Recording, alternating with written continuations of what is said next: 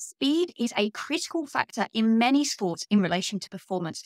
And so timing gates have long been a staple of sports science technologies available to us that we've used to try and capture speed. This technology uses a laser beam set up between these two gates that an athlete will run through. And when an athlete then breaks that laser beam, the technology records a time. The system can then give you the time taken to complete the sprint, but also give you the split times if you have multiple timing gates set up. Therefore, knowing the time and the distance, we can work out speed, or at least average speed between the mm. gates. We will discuss in a bit more detail about trying to determine peak speed between the gates, and I'll come back to that. In this video, we're going to talk about the testing protocols and some of the research around using timing gates to test linear speed as well as change of direction. My name's Jo Clubb. I'm a sports science consultant for my company, Global Performance Insights, that provides sports science services to teams, organizations, and practitioners all around the world. Thank you to VALD Performance for sponsoring this video, in which we're going to talk about their Smart Speed timing gate system. Added to the Smart Speed range is the new Smart Speed Plus system. This is in addition to their Smart Speed Dash, which is the entry level timing gate system. You can see here on their website the key features and the types of drills and tests available to be used with both the Smart Speed Dash and Smart Speed Plus systems. Now, most common of all, of course, is just a simple linear sprint through 40 meters or 40 yards.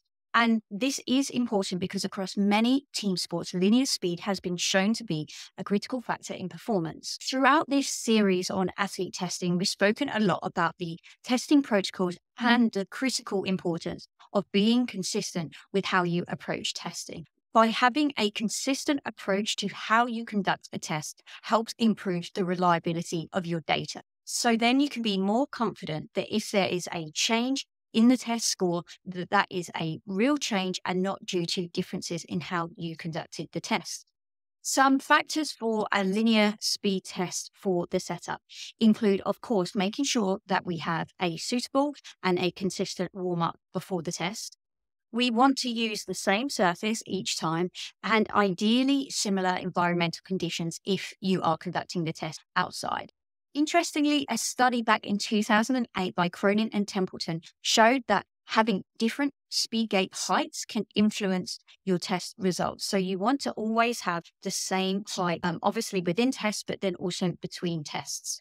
Some studies, just for ease, have recommended a, a one meter height, but whatever height you choose, stick with that for your test. The starting position is another key factor for conducting a sprint test.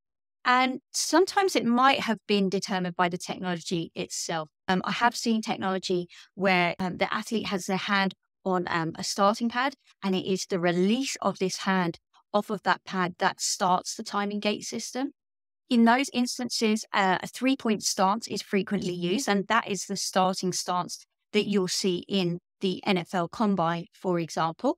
But of course, it's important that our athletes are used to or if not trained in that position because that's you know quite a technical factor in terms of the technique of that starting position if using VALD's smart speed system, then obviously we have our laser beam. So the system is just started when the athlete breaks the beam. And of course, the distance behind the first timing gate is another important factor to be consistent with. This paper, for example, demonstrated how different starting distances affect five meter sprint times and specifically that a one meter behind starting distance led to a significantly faster five meter sprint time. Based on this, he recommended a starting distance of 0.3 meters. Or we might be interested in conducting a flying sprint test, which gives the athletes a portion of distance for building up their speed. But again, the importance of being consistent there with how you set up and conduct that test each time.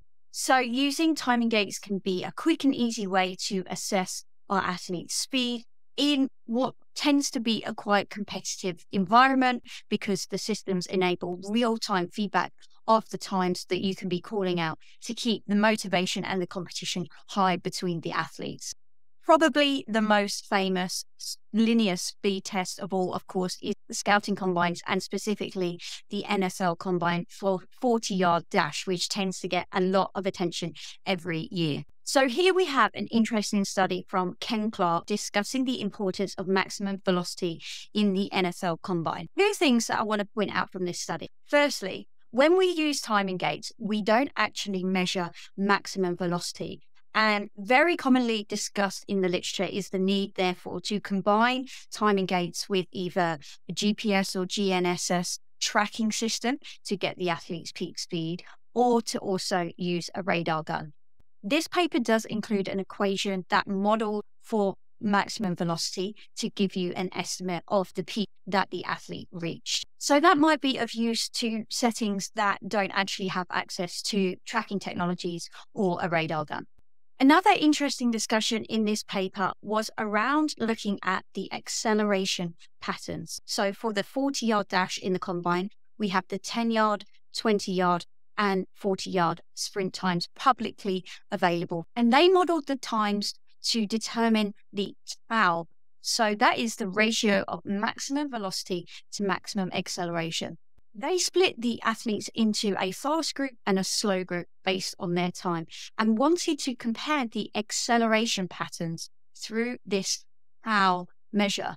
They found this ratio to be very similar between groups, which suggested that both fast and slow athletes in the NFL combine accelerate in a similar pattern. Now, this is just a cross sectional study, so we can't determine cause and effect.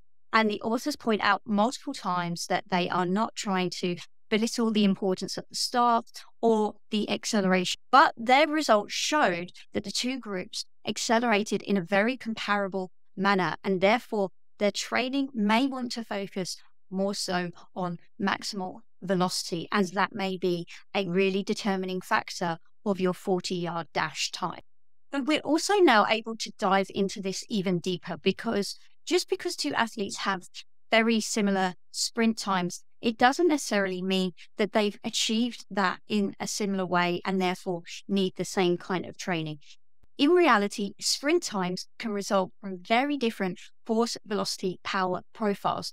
And we have the ability to assess these with our athletes. So, sprints can be profiled using the methods from Samozino and his colleagues taken from this paper to determine five key factors composing the sprint force velocity power profile. They are the maximal theoretical horizontal force, velocity at zero, power associated to the horizontal force, maximal ratio of forces, RF max, and the DRF, the decrease in the ratio of forces. Hmm. And how athletes are measured and profiled across these different factors are then associated with different training needs.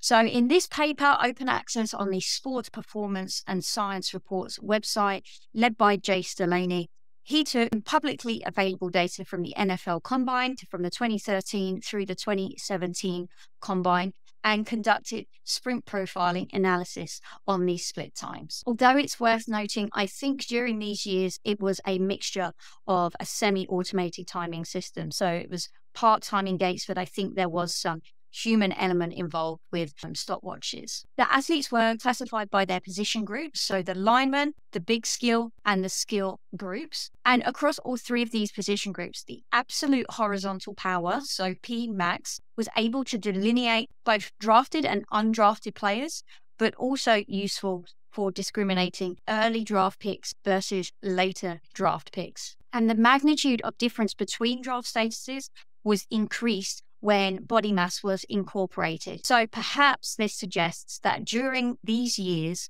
NFL teams were leaning towards drafting bigger players with superior sprinting abilities. So we can see how we could apply that technique with our own data to compare our players to the rest of the group and to profile our athletes and potentially identify the kinds of training that might be most suitable to improving their sprint performance. Now, there are a whole um, array of change of direction tests that we could also use timing gates for. Historically, we used to call these agility tests. So, for mm. instance, what is now more commonly referred to as the 5105 test used to, and in, in some cases, is still called the pro agility. But as we now know and discuss in the literature, these should be referred to as change of direction because they are pre planned, they are non reactive. Change of direction abilities may underpin agility, but ultimately agility is something different because it involves a response to a stimulus. So for more on these differences and how we might do a better job of testing agility, I recommend this paper from Warren Young and colleagues. But now we're going to talk a little bit about some of these change of direction tests, which might be, for instance, the 505 or the 510 5, which I've mentioned. So, for example, here is the setup for the 510 5. So, depending where in the world you're based, you might use meters for measurements or yards. But essentially, you have your start and finish line down the middle with your timing gates either side of this line. Then five meters or five yards, both to the left and the right of this line.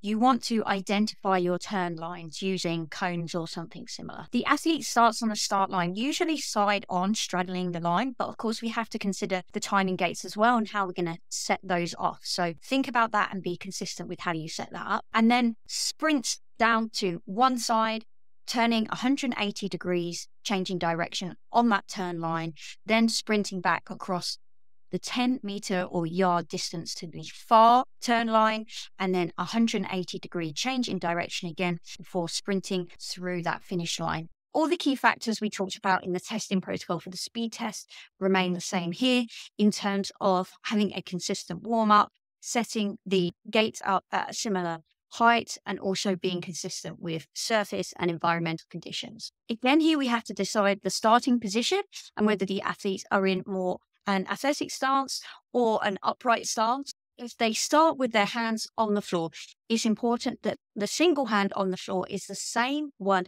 as the direction that they're going in. So if going to the right, first of all, they would start with their right hand on the ground and vice versa. It's important to test in both directions equally because we want to look at the difference in change of direction capacities off of different sides. And then be specific about your rules in terms of when they reach the line and turn around. You may state that their foot has to touch the ground. Um, some people do not allow the inside hand to touch the ground.